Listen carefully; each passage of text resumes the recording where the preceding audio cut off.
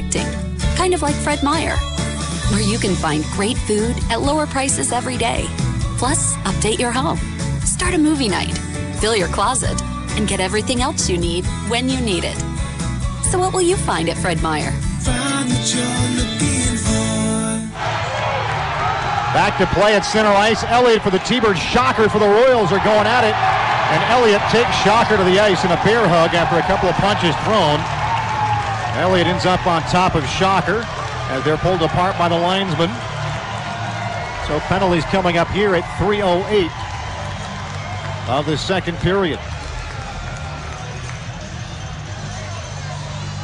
First penalty assessed on Seattle tonight. It goes as a five-minute major to Mitch Elliott.